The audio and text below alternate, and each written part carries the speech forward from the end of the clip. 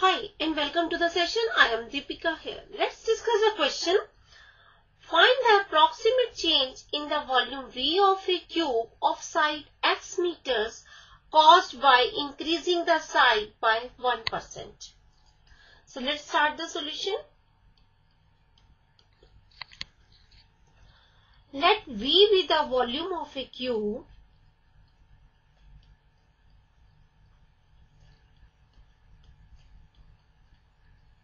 Therefore, V is equal to x cube because x is the side of a cube. Therefore, dV by dx is equal to 3x square. Now, it is given that percentage increase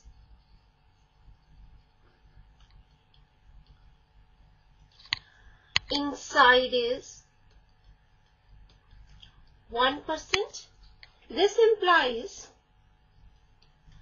delta x is equal to 1% of x that is 1 over 100 into x and this is equal to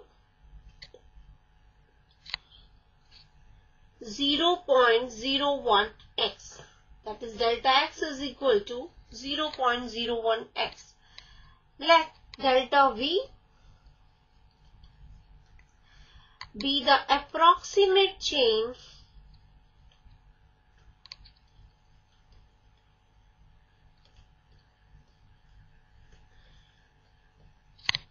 in the volume V.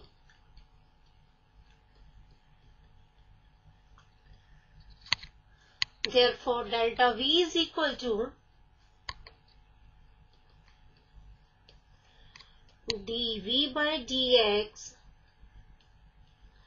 into delta x and this is equal to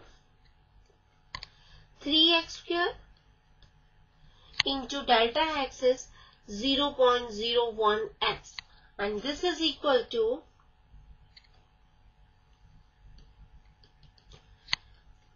Zero point zero three x cube meter cube. Hence, the approximate change in the volume V of a cube of side x meters caused by increasing the side by 1% is 0.03 x cube meter cube. And this is our answer. I hope the question is clear to you. Bye and take care.